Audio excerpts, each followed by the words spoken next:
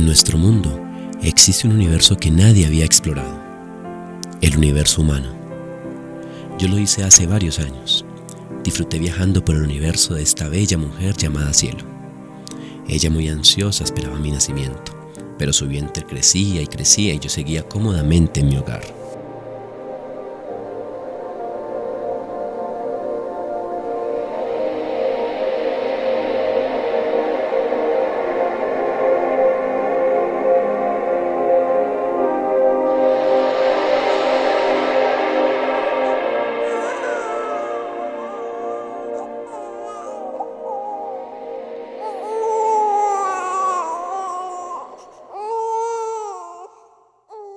¿Qué nombre te pondré si eres tan especial? se preguntaba mi madre. Al fin, luego de mirar el cuadro de Ícaro que tenía en su habitación, resolvió ponerme el mismo nombre. Significa crear lazos. ¿Crear lazos? Claro, dijo el zorro. Todavía no eres para mí más que un niño parecido a otros cien mil niños, y no te necesito. Y tú tampoco me necesitas. No soy para ti más que un zorro parecido a otros cien mil zorros pero si me domesticas, tendremos necesidad uno del otro. Tú serás para mí único en el mundo, yo seré para ti único en el mundo. Mi madre, siempre preocupada por mi bienestar, encontró la manera de cuidarme desde el exterior. Se tragaba todo lo necesario para que yo fuera feliz y estuviera cómodo.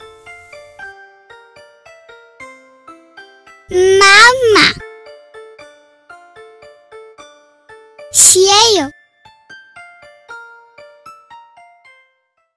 ¿Quieres un caballito? Sí.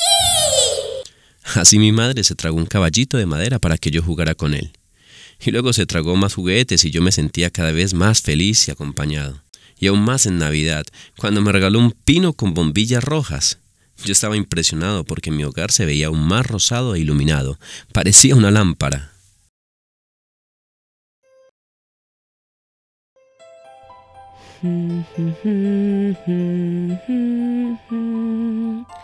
Cumpleaños feliz. este soy yo, en mi cumpleaños más feliz. Esa mañana mi madre se tragó el principito y ese mismo día terminé de leerlo. Luego muchas dudas surgieron en mi cabeza. Mami, ¿qué hago aquí encerrado? Levantarse, coger el tranvía, cuatro horas de oficina o de fábrica, la comida, el tranvía, cuatro horas de trabajo, la cena, el sueño, y lunes, martes, miércoles, jueves, viernes y sábado, con el mismo ritmo. Es una ruta que se sigue fácilmente durante la mayor parte del tiempo, pero un día surge el porqué, y todo comienza con esa lasitud teñida de asombro.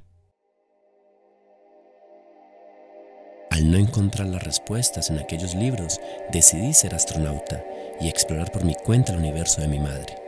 Ella sin decirme nada me sorprendió con un traje espacial y un cohete.